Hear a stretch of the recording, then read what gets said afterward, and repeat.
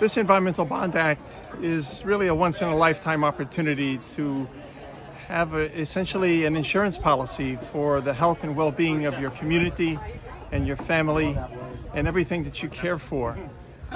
The environment is under great stress.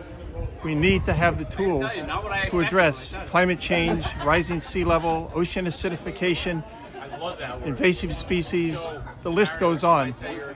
Those tools are in your hands. If you vote yes, you provide us with the tools to work for the well-being of your loved ones and the future of our state.